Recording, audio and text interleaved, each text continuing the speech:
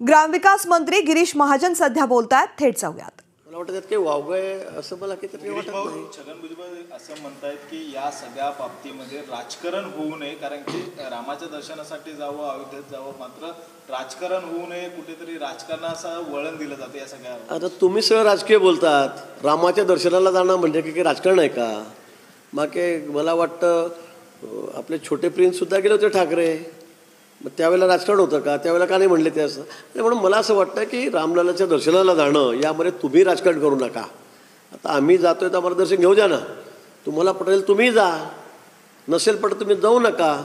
पण विनाकारण याच्यामध्ये राजकारण आणायचं मला वाटतं हे काही बरोबर नाही मुख्यमंत्री एकनाथ शिंदे आदित्य योगी आहेत त्यांची भेट घेणार आहेत. तुम्ही देखील हे भेट घेणार आहात का? आणि त्यांच्याशी कोणत्या विषयावर चर्चा करणार आहात? कारण की महाराष्ट्र सदन त्या ठिकाणी व्हावं त्यासाठी जागेचा देखील तुम्ही मागणी करणार आहात असं नाही माझ्या माहितीप्रमाणे तिथे एक सदिच्छा भेट त्या ठिकाणी आहे. मान्य मुख्यमंत्री महोदय आणि एकनाथजींची भेट त्या ठिकाणी होणार आहे. आम्ही निश्चित त्यांना त्या ठिकाणी भेटू.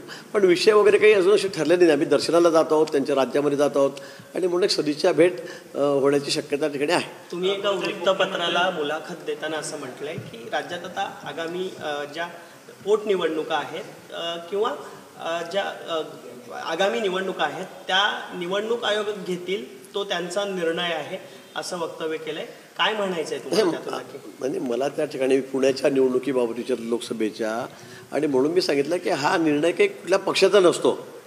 का सत्ताधारी पक्षाचा आहे का विरोधी पक्षाचा आहे का मुख्यमंत्र्यांचा आहे. मला वाटतं निवडणुका पोटनिवडणुका केव्हा घ्यायच्या कधी घ्यायच्या त्याच्या तारखा काय काढायच्या हा सर्वस्वी निर्णय हा निवडणूक आयोगाचा आहे. आणि ते त्या बाबतीमध्ये सक्षम आहेत ते निर्णय घेतील. गिरीश मुख्यमंत्र्यांचा जो दौरा आहे हा दौरा मोठं शक्ती प्रदर्शन जे आहे ते आयोजित असणार आहे. कुठेतरी भाजप या दौऱ्याला बळ देते अशी चर्चा जी आहे कारण मंत्री जे आहेत पाठवले जात आहेत त्यामुळे भाजपच्या बळामुळे कुठेतरी हा दौरा जो आहे तो मोठा होऊ शकतो का? नाही बळाचा काय विषय? मला ते समजलंच नाही. एका एवढ्या मोठ्या राज्याचे मुख्यमंत्री उत्तर प्रदेशसारख्या मोठ्या राज्यामध्ये म्हणजे आपण दोन नंबर आहोत ते एक नंबर आहोत. आणि आमचे मुख्यमंत्री त्या ठिकाणी उत्तर प्रदेशमध्ये अयोध्येला दर्शनासाठी जात आहेत. आणि त्यामुळे साहजिक आहे. आमची ते भाजपची आणि त्यांची युती या ठिकाणी आहे. आणि म्हणून आम्ही स्वागत करणार आहोत.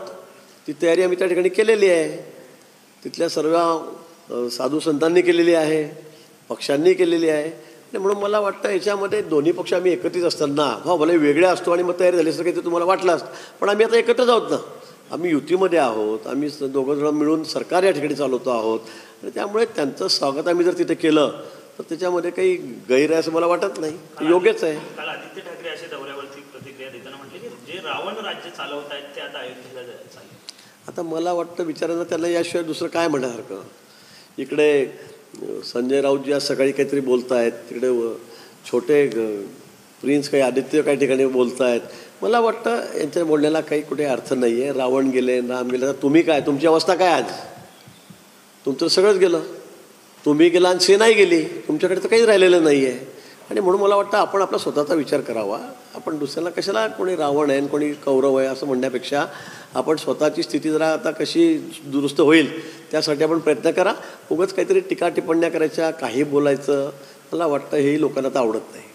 संजय राऊतांनी प्रतिक्रिया दिली की ईव्हीएम मशीन जी आहे ती बंद झाली पाहिजे. ज्या पद्धतीनं बांगलादेशमध्ये विरोधी पक्षांनी मागणी केली आणि त्यानंतर या मशीन्स ज्या आहेत त्या बंद झाल्या आहेत. तर आपल्या देशात सुद्धा या मशीन ज्या आहेत त्या बंद झाल्या पाहिजेत अशी मागणी आहे. जेणेकरून आपल्याला चांगलं राजकारणी जे आहे ते निवडता येईल किंवा सध्या जे आहे ते मोठ्या प्रमाणात भाजपने पीव्हीएन मशीनमध्ये भ्रष्टाचार केला असे सगळे आरोप संजय राऊत मला वाटतं संजय राऊतचे आरोप काय किती तथ्य आहे किती नाही आहे हे आपल्याला याची कल्पना आहे. आणि बांगलादेशसारख्या राज्य राष्ट्राचं देशाचं उदाहरण ते आपल्याकडे या ठिकाणी देत आहेत. बरेच देश आहेत ना मोठे त्यांचं अनुकरण करा ना आपण. बांगलादेशचं काय अनुकरण करतात? उद्या तुम्ही अजून पाकिस्तानचं सांगाल इथे की पाकिस्तान काय करतं आहे म्हणून. मला वाटतं की इथे कुठेही त्या मशीनमध्ये गडबडणे सिद्ध झालेलं आहे. निवडणूक आयोगाने कोर्टाने मान्य सर्वोच्च न्यायालयाने वारंवार सांगितलेलं आहे. आणि मग आता आपल्याला कोणी निवडून देत नाही आपल्याला मतं मिळत नाहीत आपण तर पन्नास बावन्नवरच थांबलेला होता ते आमच्याबरोबर होता म्हणून नाही तर मी तर सांगितलं होतं की तुम्ही पन्नास लोक निवडून आणून दाखवा म्हणून. आणि म्हणून मग काहीतरी नाचताही नाचता येईना अंगण वाकडा असा प्रकार त्यांचा चाललेला आहे. आता मग तुम्ही याच्यामुळे निवडून येतात मोदींची प्र- लोकप्रियता यू एम मशीनमुळे आहे असंही ते म्हणाले. म्हणजे आता हे जनताच ठरवेल मला असं वाटतं. तुम्ही कुठल्याही पद्धतीने मतदानाची मागणी करा का? बोट उंच करून जरी म्हटलं तरी देशातले पंच्याहत्तर टक्के लोक आता मोदींच्या बाजूनेच उभे राहतील याची सर्वांना कल्पना आहे. गिरीश भाऊ कोरोनाचा प्रादुर्भाव मोठ्या प्रमाणात वाढतोय. काल केंद्राने देखील या सगळ्या संदर्भात बैठक घेतली. काही हॉस्पिटलमध्ये डॉक्टरांची कमी नर्सेसची कमी तुम्ही वारंवार सांगितलं की ह्या सगळ्या भरती प्रक्रिया लवकरच करू. कारण की आता प्रादुर्भाव वाढतोय तर कशा पद्धतीने नियोजन करतायत काय वेगळे पाऊल उचललेत का? टास्क फोर्सच्या काही माहिती आली आहे का? कारण की रोज आठशे नऊशे रुग्णांची भर पडत चाललेली आहे. काही प्रमाणामध्ये कोरोनाचे जे पेशंट रुग्ण आहेत ते वाढत आहेत राज्यातही देशभरामध्ये सुद्धा आहे. निश्चित काळजी आपण घेतली पाहिजे.